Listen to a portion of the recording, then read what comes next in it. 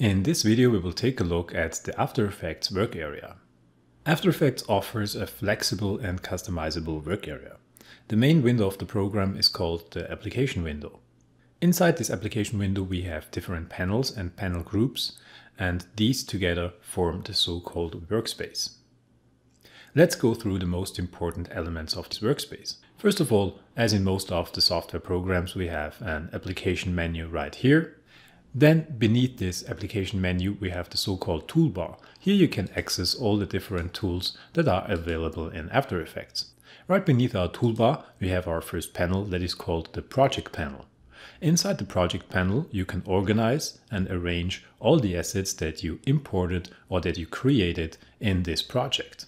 You see that here we have some compositions and we have some folders with some subfolders in them and here all our assets that are used in this project are organized and are accessible. The next important panel is the so-called composition panel. The composition panel has two main functions. First of all, it is like the artboard or the work area of After Effects where you can position and manipulate your assets and your footage elements. And it is also the area where you can create previews and preview your animation. The next important panel is the so-called timeline. The timeline consists of two parts. We have on the left here the timeline panel and on the right we have the timeline graph. In the timeline panel, you can open up your compositions. You see that right now the render composition is open. There are other compositions that we can access here that are already open. So I can open up all my compositions in the timeline and then I can access all the different layers, all the assets that form this composition. In the timeline panel, you can access all the parameters and effects that are applied or available for a layer. And on the right in the time graph, you can use the time indicator to scroll through your animation and it is also used to animate certain properties or parameters over time and create keyframes. On the right here we have a few additional panels we have a panel group consisting of the info panel. The info panel will give you a few information about the color values and also about the X and Y values of your cursor. And you see that there is another panel active here and this is the audio panel. So this is a so-called panel group if two panels share one panel space here in the workspace layout. Beneath this we have the preview panel. In the preview panel you can create RAM previews of your work and down here we have the effects and presets panel and we have the libraries panel. So if you see these arrows here, it always means that this is a panel group and it always means that there is more to access. If we click this, you see that here we have the libraries panel and we have the effects and presets panel right here. So these are the panels that are visible in the standard workspace layout of After Effects, but there are more panels. If you want to access additional panels, then you can come up here to the application menu and you can choose window.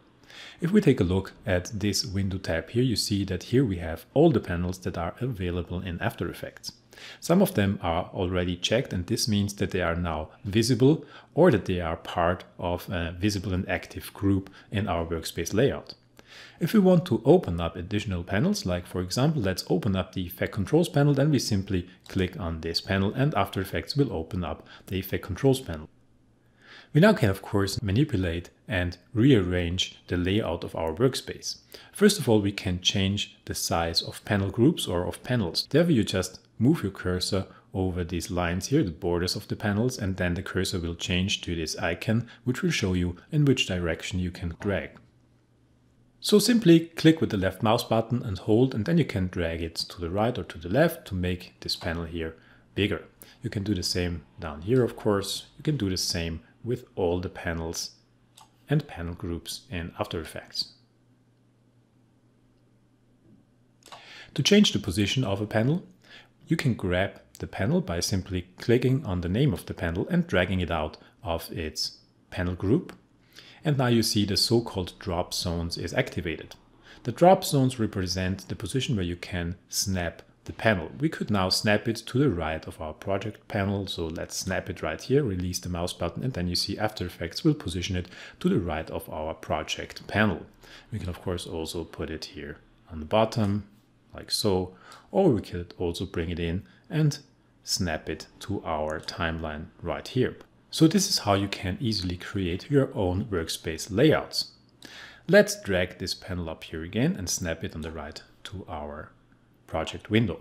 If you want to add it back to a panel group, then you simply drag it in the middle of the drop zone here, and then After Effects will create this panel group. After Effects has some pre-built workspace layouts and you can access them right here. You see that right here in the bar we have four available screen layouts. So if I click on Essentials, then the look will change a little bit. You see that now we have these panel groups here where I can click and open the panels by clicking on their names. We have the standard layout and a small screen layout and one that's called libraries. But there are even more workspaces right here. So for example, we can access something to paint and then you see that it will change quite a bit. Now we have a new panel right here that we never saw. This is the layer panel. The layer panel is a panel that is like a footage preview panel. So in comparison to the composition panel, it doesn't show the whole content of a composition. It only shows the content of one layer or of one footage item. You also have the possibility to edit your workspaces. Therefore, simply click the arrows here and go to edit workspaces and then you see you can rearrange this. First of all, we have the bar here. These are these workspaces that are visible right here in the bar. And then down here we have the flow menu, the overflow menu, where all the other workspaces are visible. Now you can say, okay, I use the animation workspace, for example, a lot, and I can drag it up here, but I never use the library panel. So I drag this in here then you can click OK and you see that this changed. Now I can access the animation workspace right here in the bar. You can of course also create your own workspaces. So let's go back to the standard workspace. Let's select our effect controls panel and let's dog it to the right of our project. And let's say you want this to be a standard workspace. And then you can go here to this menu, the three lines always represent menus where you can click and then there are more options to access. And here you can say, I want to save this as a new workspace. Now you can type in a name, let's say new standard.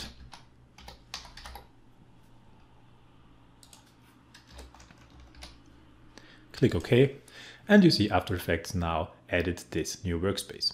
Now I can go back to my standard workspace and you see this also has our effect controls panel in here because After Effects will remember changes that you make to this workspace. And you can always reset it to the saved layout. So you click this menu here and then you can select reset to saved layout and it will go back to the layout that you saved under this name. So this is now the standard and now I can access my newly created workspace, the new standard right here by clicking here. And now you see that my effect controls panel is visible right here. Okay, so this is it with the first overview over the work area of After Effects. And in the next video, we will take a look how to navigate in certain After Effects panels.